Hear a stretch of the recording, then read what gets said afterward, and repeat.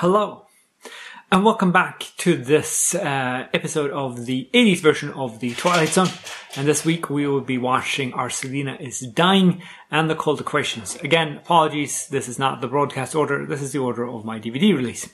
So, Our Selena is Dying uh, stars uh, as Diane uh, Jennifer Dale, who uh, voiced Mystique in the X-Men animated series. So that's a few weeks now that we've had X-Men or X-Men adjacent uh, actors on the show, which is kind of cool.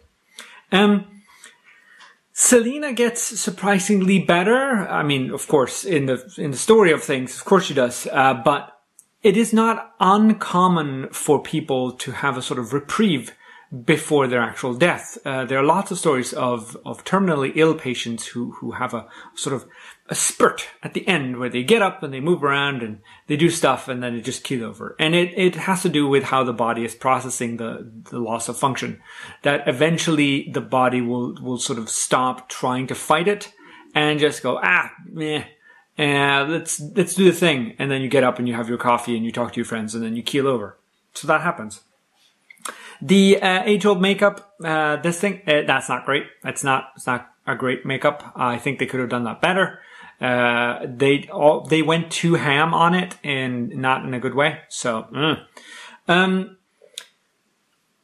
the, the, there's also fire and indoor fire. And even though I like the way it starts, that's, that neat. I like that. Uh, the, the shot from outside is not fantastic. So it looks like this and it's just lights playing on the inside uh, of of the window, and it doesn't make that much sense either because you can see that there's soot.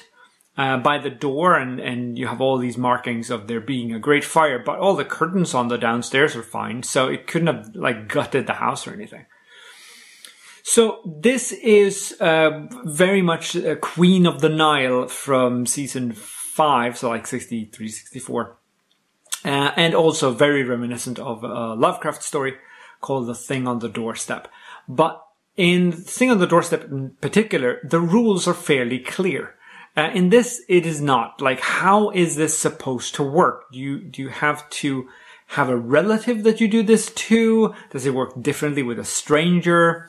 Um, do you transfer medical conditions like the burns move across, but obviously not the scar on Martha? Um, do you have to keep them around? Uh, or can they die once you've siphoned their life? Like, there's a lot of stuff here that isn't quite laid out and it's not consistent and that makes it a bit more eh. Not a fan of that, to be honest. Um, next, uh, we are going to uh, space uh, for the cold equations, which is a story that's been adapted several times, uh, and I, I, can understand why. Um, the moment he gets the notification that there is something that weighs too much, he immediately gets his gun. Like that's his first choice. Armed response. And it's a very late warning too. Like he's well en route and then the ship goes, oh yeah, by the way, you're 46 kilos overweight. Uh, the ID disc that he talks about is a cylinder. Um, why isn't it an ID cylinder? Uh, she's born in 2040, so this takes place in around 2060, I guess, and that seems very optimistic. And this is an illustration of what is known as the trolley problem.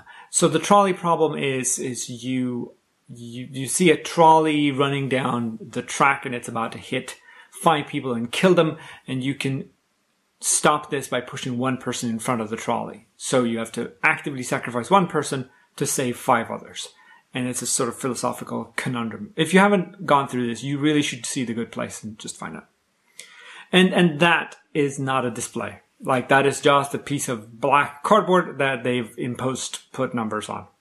Um, and it's a it's a sad episode. Um, it's not very Twilighty, but I do enjoy it a lot. And that's it for this week. And I look forward to see you next week. Take care now.